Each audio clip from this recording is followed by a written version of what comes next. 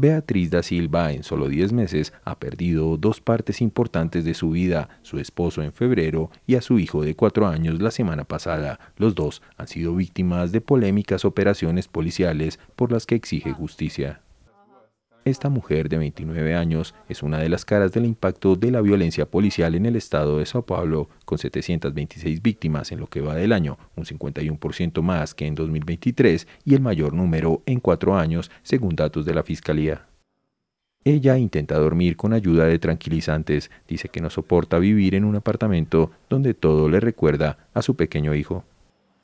Da Silva, una mujer bajita a quien sus familiares describen como trabajadora y de corazón enorme, habla rápido y con aplomo. Solo aprieta los labios al acariciar un disfraz de superhombre que su hijo Ryan vistió recientemente.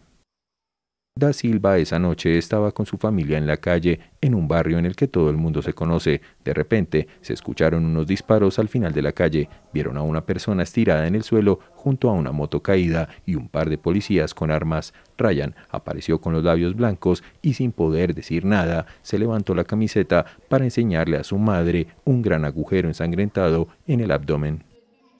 Un portavoz de la Policía Regional reconoció la semana pasada que el tiro probablemente fue disparado por un agente durante un intercambio de tiros con un grupo de 10 supuestos criminales involucrados en el tráfico de drogas, pero los testigos con los que habló F, que se encontraban a unos 30 metros, niegan que hubiese ese tiroteo los policías han sido apartados de sus funciones mientras se investiga lo ocurrido. Sin embargo, una semana después del incidente, el peritaje forense del lugar de la muerte de Ryan todavía no había sido realizado, según relataron a F familiares tras reunirse con un comisario.